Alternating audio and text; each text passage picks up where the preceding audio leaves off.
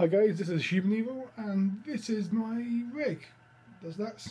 There, as you can see, is my Cooler Master 5 year old tower which houses my i7 950 CPU at 3.3 gigahertz and my 16 gig of DDR3 triple channel memory, my GTX 7, uh, 670 overclocked WindForce 3 graphics card,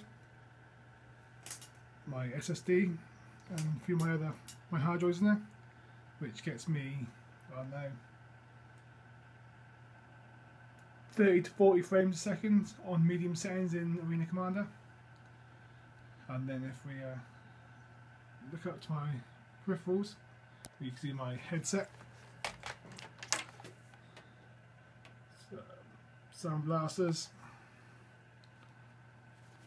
uh, Tactic Fury. You can see that. My uh, flight stick, the Logitech 3D Pro Extreme. My old crappy keyboard. My crappy mouse that half of it doesn't work. And my 40 inch 3D Samsung TV.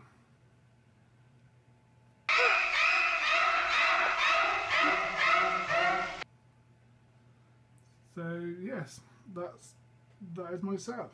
So we'll have a quick look. Yeah, you can't really see that.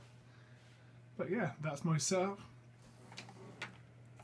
And I suppose now I'll move on to a arena commander and my ships.